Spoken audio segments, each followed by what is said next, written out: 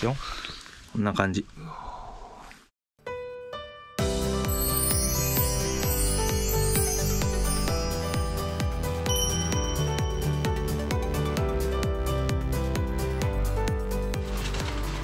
まあ、だいぶもう収穫前になるとだいぶ木が弱ってくるんですけれども、こんな感じ、まあ、これ小さいのから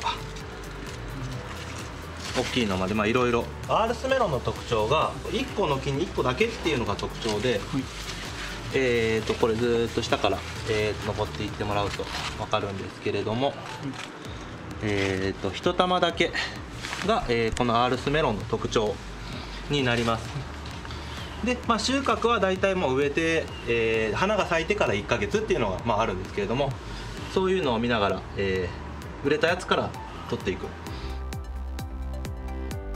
ここが明日植えるところです。そういうのがずっとコロコロコロコロ。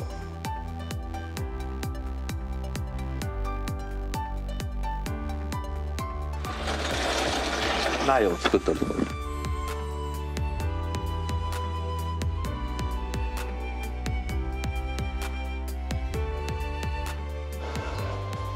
で、えーこんな感じで今メロンできてます。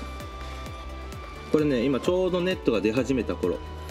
で収穫がこれが12月の末年末ですね。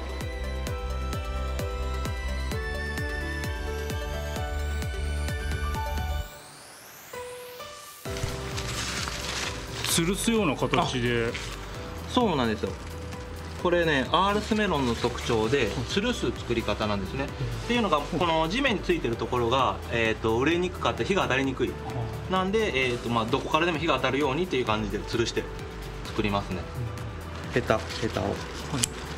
取ってあげてそうするとこれ輪っかになってるんでこうやって取れる。こうやって取って。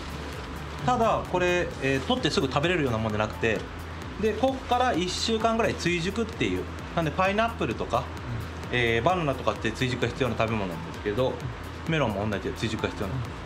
まあちょっと置いて食べていただく方が美味しいかなと。なんでまああと好みですね。その硬いのが好きなのか、えー柔らかいのが好きなのか。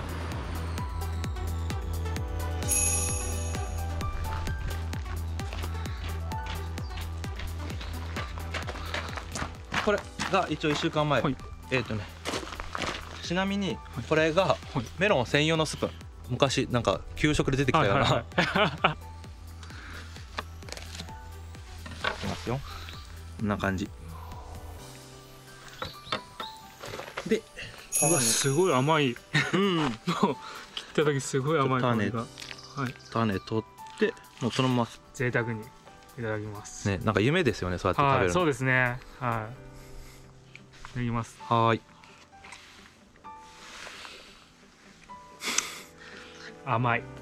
甘いしあのね。ちょうどいい硬さですね。そう。でどんどん置くとその柔らかくなってその汁が出てくるんですね、はいはいはい。でまだこっちはそこまで汁が出ないんですよ、こあー。あのこっちの今日取り立てっていうのは、なるほど。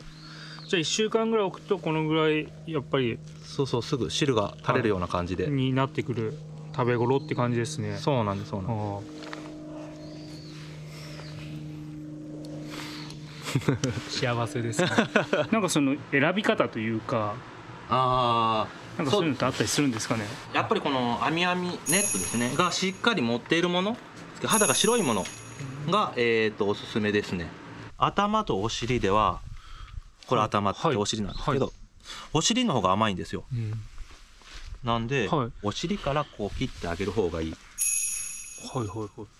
そうするとまあ甘いああなるほど。はい。で本当はえっ、とねこうやって切るんですけど、あのこうやってきこうやって今こうやって食べやすくこうやって切ったんですけど、本当は待ってくださいね。よいしょ。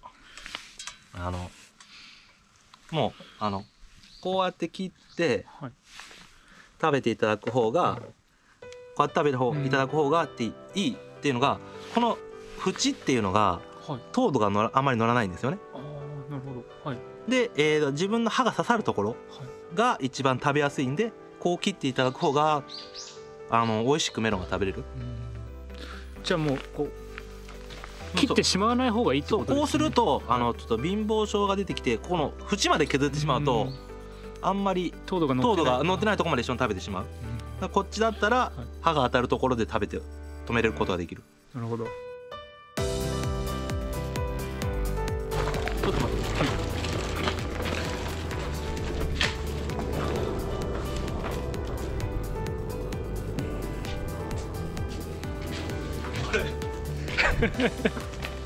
あの同級生。これ本当の花火なんですよ、はいまああのモックですけどこんなん作るんじゃーって五号これ五号玉。すご。いこう上がった時ってどうなんですか？これいやこれ普通のあの普通の緑色の花火がここれ今な中身空ですけあどそうなんですね。うん、そうそういろんな感じです。オーダーメイドで一応作ってくれるんです同級生が子供の誕生日の時あげたい人おるとかって言って言ったらあげたいあげたいっていう人もおったりするんでそんな簡単に上げられるもんです2週間ぐらい前に言えばあげれる。あそう。なんですね、へーでも同級生もなんかいろいろ頑張っていく僕も頑張らなきゃいけんな。